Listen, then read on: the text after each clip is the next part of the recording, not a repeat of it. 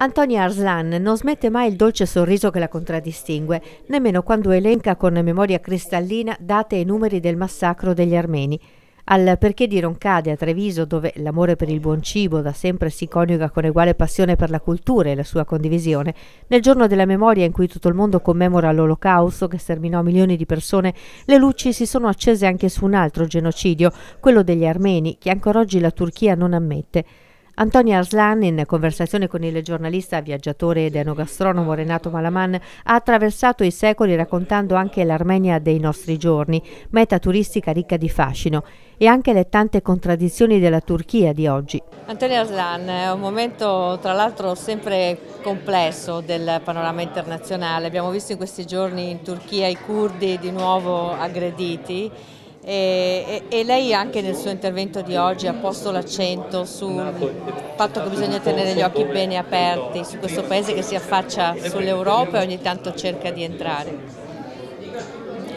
Vede, eh, la, la Turchia è un grande paese, bisognerebbe che loro stessi se ne rendessero conto, che non si può costruire però su una rimozione collettiva e questo lo dice anche um, Hassan Gemal che è nipote di, un, di uno dei perpetratori del genocidio e che ha fatto tutto il cammino di riconoscimento della tragedia armena perché eh,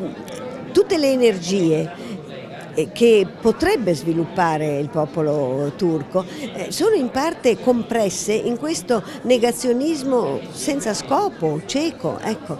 io credo che L'attuale situazione che dura da tanti anni anche contro i curdi, che è l'ultima minoranza a rischio, ma che sono molto più numerosi, dimostra una politica ossessiva che continua ancora e che preclude alla Turchia eh, di, di uh, eh, occupare il posto che meriterebbe eh, anche nel, diciamo, fra le nazioni. Ecco.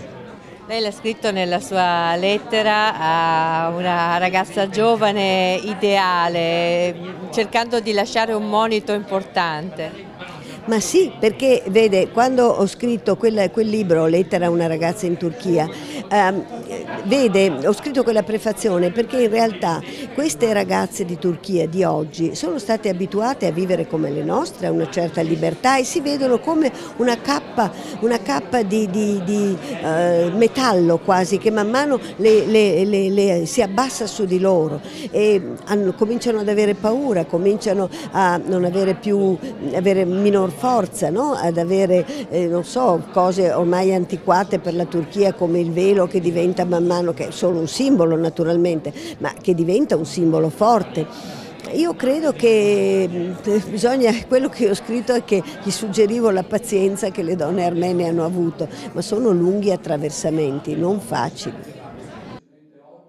Una serata dedicata interamente alla conoscenza della terra d'Armenia, ai suoi rapporti con l'Italia e con Venezia su tutti, grande al punto di aver accolto gli armeni senza cedere ai ricatti anche in piena diaspora, e conclusa con una cena alla scoperta di sapori e profumi della cucina armena, tra fragranze di limone, prezzemolo, aneto e acqua di rose, carni speziate e dolci raffinatissimi, perché la cultura di un popolo si legge anche a tavola.